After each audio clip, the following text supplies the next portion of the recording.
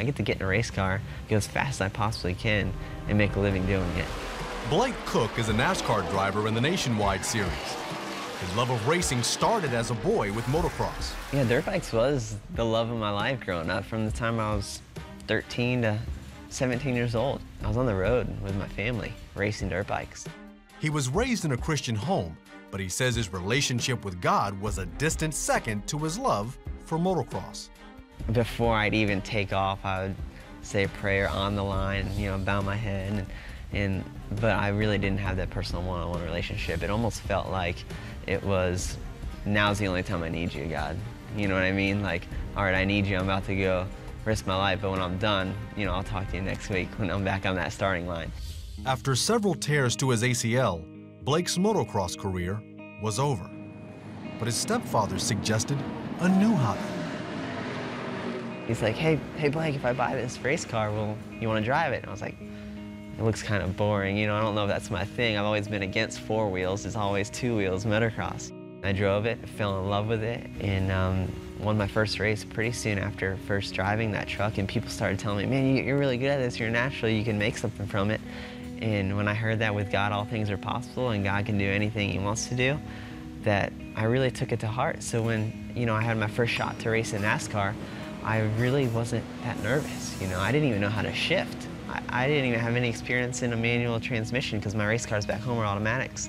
And I got to the track for my first time and I knew it was going to be a, uh, a manual transmission, but, you know, I knew that God opened this door. Fear wasn't an option. I knew he'd take care of it. And it was good. My first time in, I qualified fourth in California in the NASCAR K&N Series, and then they signed me full-time the next year to race for them in the, the West Series. Blake says he made his Christian faith a priority and put his trust in Jesus. It's a really a, a personal one-on-one relationship, and that really started when I was about 20 years old, is when you know, I stopped quenching the Holy Spirit and started listening and reading into the Word more and studying and just really pursuing Christ. He says his Christian faith has helped bring stability to a career that can end in an instant. Shortly after my wife and I got married, I lost my sponsorship. Um, there was no ride available, and I had to surrender racing. You know, I was at a point where God opened the doors you want open and shut the doors you want closed. Worrying does not add a single day to our lives, Jesus tells us. So I know that God's going to take care of me. I know He's going to provide my daily bread. You know, what's really helped me with that is surrounding myself with great people who are on the same mindset, accountability partners, having fellowship, building each other up, and also speaking truth into each other's lives. After a brief pit stop from racing, Blake was back in the driver's seat. He is now sponsored by Compassion International and enthusiastically speaks about his relationship with Jesus wherever he can.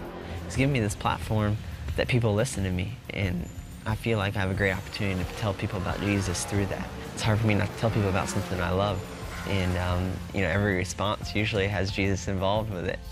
Blake says he keeps his life and his race car in God's capable hands. I have to fully surrender everything to let God work in my life. It's not a routine. You know, it's not um, a superstitious thing that if I don't pray, I'm not going to perform. It's all about putting that car in God's hands. For God to drive the car through my hands, my feet, my mind, and my heart. Put this car where you want it is my prayer. And, um, you know, no matter what happens, I know that I've said that prayer and I've let go of everything I can do, and it's in His hands.